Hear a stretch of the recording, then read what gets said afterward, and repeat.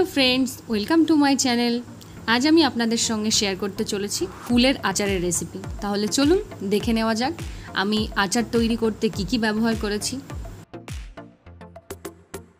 প্রথমে আমি পরিমাণ মতো কুল নিয়ে সেটাকে বোটা ছাড়িয়ে সুন্দর করে ধুয়ে জলের মধ্যে 30 মিনিটের জন্য ভিজিয়ে রেখেছি। তারপরে আমি নিয়েছি একটা ফ্রাই প্যান, যেটা গরম হওয়ার পরে এর মধ্যে আমি দিয়ে দিয়েছি চার টেবিল স্পুন ধনে।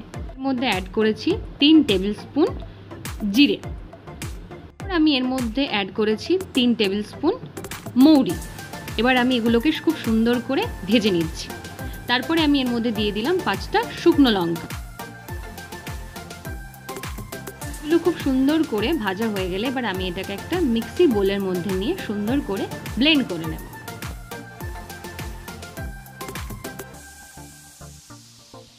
মশলা রেডি হয়ে গেছে, এবার আমি সেকেন্ড স্টেপের দিকে যাই। নিয়েছি একটি কড়াই। যেটাকে খুব ভালো করে গরম করে নিয়ে তার মধ্যে আমি দিয়ে দিয়েছি আটশো গ্রাম আখের গুড়। গুড়টাকে আমি চার থেকে পাঁচ মিনিটের জন্য খুব সুন্দর করে নাড়িয়ে নেব। তারপর আমি এর মধ্যে যে কুলগুলো জল ঝরিয়ে তুলে রেখেছিলাম, সেগুলো এবার আমি আস্তে আস্তে ঢেলে দেবো।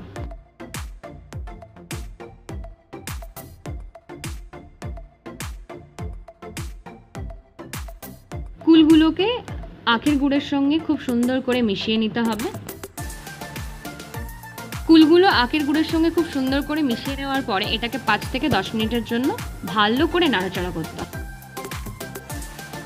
আমি এর মধ্যে দিয়ে দেব দু টেবিল স্পুন লবণ। তারপরে এটাকে আমি আবার খুব সুন্দর করে নাড়িয়ে নেব।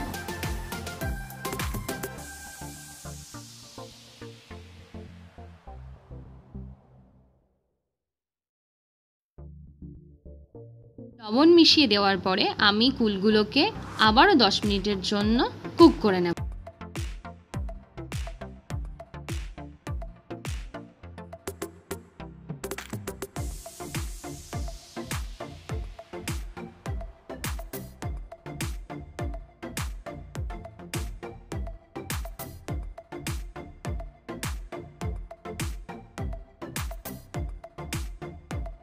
কুড়ি মিনিট ধরে কুলগুলোকে খুব সুন্দর করে নাড়িয়ে নেওয়ার পরে আমি যে মশলাটা তুলে রেখেছিলাম, সেই মশলাটাকে এবার আমি এর মধ্যে মিক্স করে দেব।